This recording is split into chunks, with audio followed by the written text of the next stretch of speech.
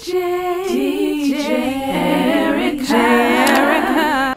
In other news, Raz B's ex-girlfriend that came out, okay? Have y'all heard about that? Raz B's ex-girlfriend came out basically saying that um Raz B attacked her and her and everything, oh, outed her um, and everything on her TikTok. I actually seen the video myself um, and it's very, very disturbing. And it's basically her calling um, Raz out. And a lot, Raz has been getting a lot of, you know, news coverage because he was calling out his abuser on um, all these social media platforms and stuff like that and he actually was on Jason Lee talking about his abuser, which is his manager. You guys could look up and, and see who he's accusing.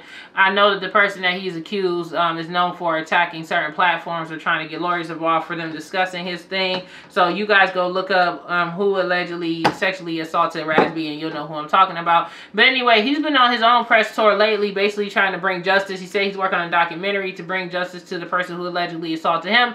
And meanwhile, his ex-girlfriend is coming out basically saying that Raz hired her um, beat her up so bad that she was in the hospital, purposely impregnated her, which would mean she, he hired her, um, causing an pregnancy that she did not want. Um, and, you know, it's, yeah.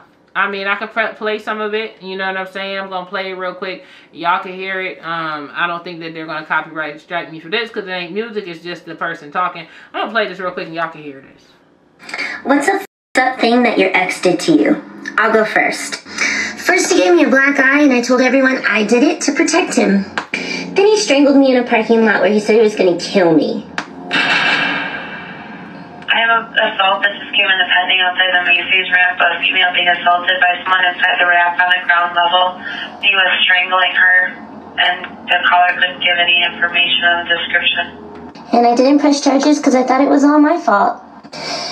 He put a large down payment on a car, apologized, and said he would never do it again. I was afraid of him, and I didn't know how to get away. Until finally he held me down, had sex with me against my will, impregnated me, put me in the hospital, and I finally had the courage to get away from him. Alright, so if you guys you guys heard that audio and um yeah man, it's just messed up. Like it's crazy. And um you know, I don't even know what to say. Like, if Raz B did this, he should be held accountable. The same way that he's trying to hold his alleged um, attacker and molester, molester, M-worder, our, you know, it's certain words I can't say um, on YouTube. But the same way he wants to be um, named as a victim, of course he and was being victimized, um, and he wants that person to be held accountable or whatever he wants done, um, he should also be held accountable too. I think he actually said that he did, you know, attack or hurt um, his ex before I, I, I, remember him mentioning that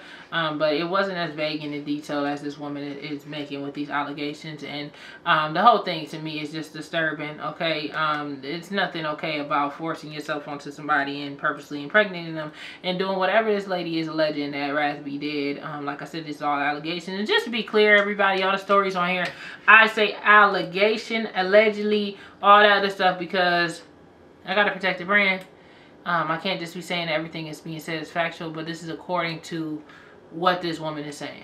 Okay, and according to her, she was hurt by him. And he did those things allegedly to her.